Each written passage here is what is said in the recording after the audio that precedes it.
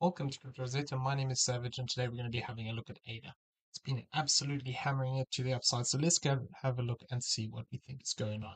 Okay, so what we're looking for here is the potential of a um, this is what we've been tracking for a while now. The potential to actually come up towards this um, C wave high here of this 51 cents. So we've been tracking this for a while and uh, we are progressing up here nicely. The problem I have currently is the way that this structure is forming. There is potential if we push up high enough towards the 71 cent that we could change how we look at this move and this would then become potentially a 1, 2, three, we'd wait for a fourth wave, and then we'd have a bigger fifth wave to the upside. So this would be the, the bigger picture, looking out for that potential that we could be looking to create uh, or to continue in a bigger trend to the upside. But we don't have confirmation of this yet, and we need to be a little bit cautious about the fact, um, you know, at the moment we still only have a three wave move up here. There is potential for extension within these waves, and we're going to discuss that now. So the way that I'm currently looking at this move, if we were arguing that we're within a C, um, the only way that it would make sense is if we are actually extending out here within these um, waves. So this is quite messy here, but basically the idea would be that we have a series of ones and twos within this move which are starting to push to the upside. So I'm going to ignore these ones for now, and we're going to discuss the most important ones, which would be um, this one here. So what we're looking for for a confirmation here is actually a bigger move up towards this 50 cent 88 here. And what we want to see is, you know, good five wave structure, which is starting to develop now. Um, we still need to see this maintained, but this is our target area for confirmation of this count would be up here towards this zone of this uh, 50 cent 88. So we haven't reached that yet. We need to just be careful. Um, this can still look to break down. We have just interacted with this top trend line here. We are moving through it at the moment, but just want to keep an eye on it and see if we actually look to reject it to the downside. So we're going to discuss a couple of things um, within this internal count. So within this, basically what I'm looking for is the potential that we have a 1, 2, 1, 2 here, another 1, 2, 3, 4, 5, which could potentially be looking to complete. So I've got this target here of this 4601. We haven't quite got there yet. It does look like it's sort of nearing the end of this, unless we do extend out um, more I would be expecting this to complete um, this white, this sorry, this yellow fifth wave towards this 4601 area. And um, with that, then we'd be looking for the potential of this fourth wave to walk back down towards this zone of this uh, 4280. So this is what I'd be looking out for. You know, what I want to see is this play out as a one, two, three, four, five here. Then we'd be looking for a third wave for this fourth wave, sorry, three wave move down for the fourth wave, and then continuation up for this fifth. So this fifth could potentially look to push us up as high as this 46.87 to this 48.21. So the key area to hold here is this 42 cent range. If we fail to hold this zone, um, we need to just be careful that obviously we still only have a three-way structure up here, and potentially we could argue this is one, two, three, four, and five. It's not my favorite way of counting the move, but it is possible if you say that we've actually extended the fifth wave within this move here um, we could then argue that we have one, two, three, four, and five to the upside here. So this is why this is a key zone, this 42 cent range. If we do break back down here, I don't want to really see this zone get hit. Uh, don't get want to see it us lose it and sort of consolidate below it because otherwise that would indicate to me that we have potentially the other option we're going to go over in a second. So the key thing here is really unless we hit this 50 cents 88, the structure within this move is looking good to continue up here, but we need to actually get up into this zone. If we fail to achieve this, we just need to be careful of um, the fact that we could actually have a correction that is not completed here.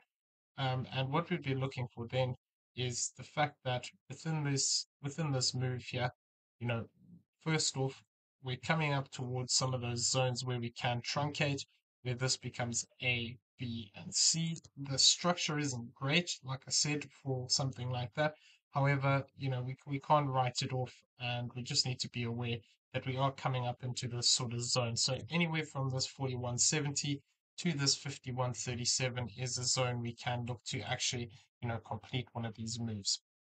The other thing that I want to talk about is that perhaps it is also you know, one other way we can look at this is that because of how choppy this move is, if we fail to, you know, achieve that 50 cent range, what we could actually have is just a bigger corrective structure, something like this, where this becomes A, this becomes B, and then this becomes C. So this is something we need to just be on the lookout for, where we could see, you know, a bigger corrective structure in the middle here, which uh, would be looking at something like this, where a typical rejection for this as a as an extended B wave here would actually be this 4690. So I'm keeping an eye on this area. We are already in the zone here, and if we break, if we go onto the um, onto the corrective move to the upside, the way we were looking at this previously, we are talking about coming up into this 4491, and uh, you know this has already been met. The one to one of this is actually up here towards this 4677. So that's looking at this move as a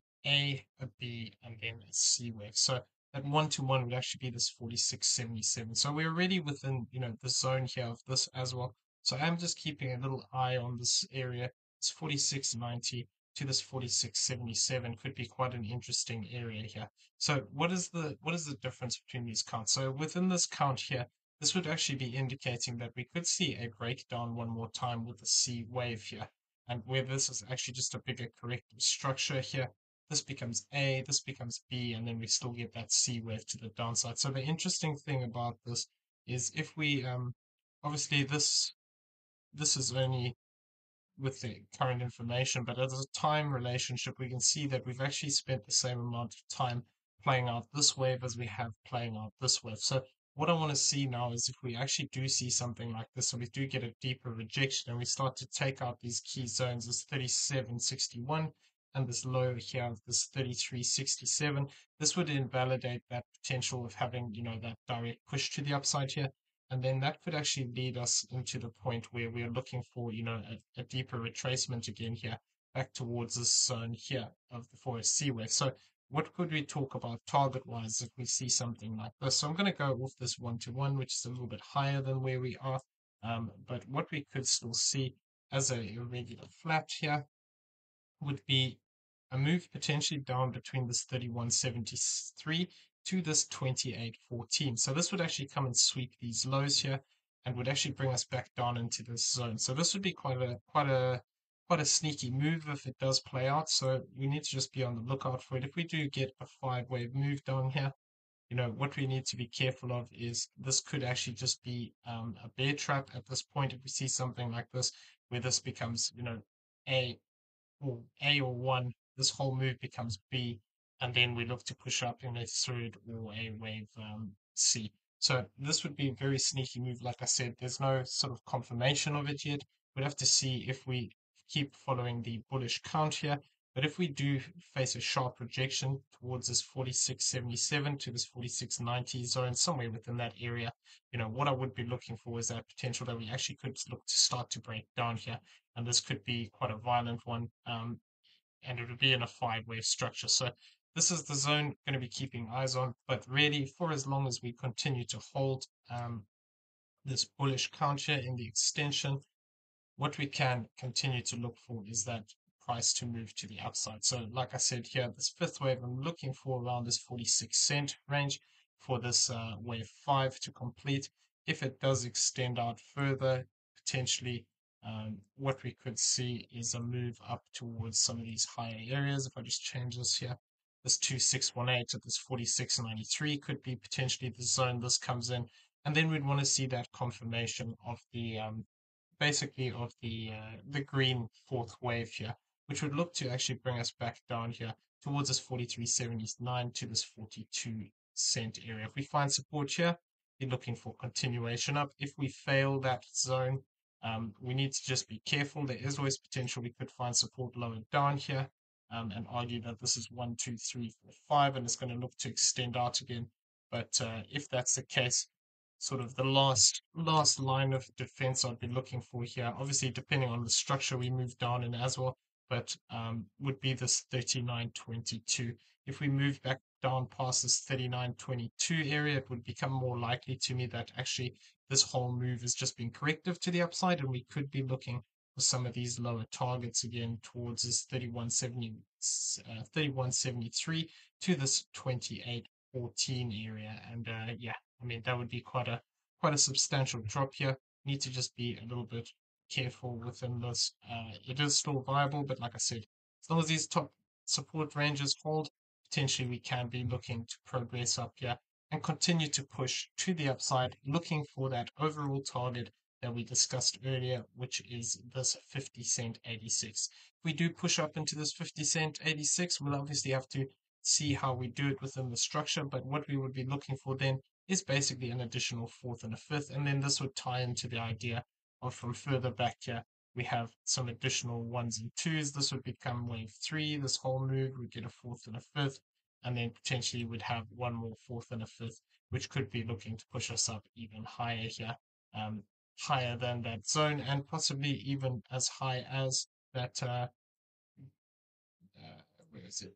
This impulsive point here at this 1618, which is the 7199. But we need to continue to hold these support zones and continue to push to the upside here, keeping good structure. Okay, I'm going to leave the video there. I hope you found it useful. If you did, please smash the like button, hit that subscribe button if you haven't already, turn on the bell notification so you never miss a video, and leave us some feedback down below. Everyone have a great day. We'll see you in the next one. Take care.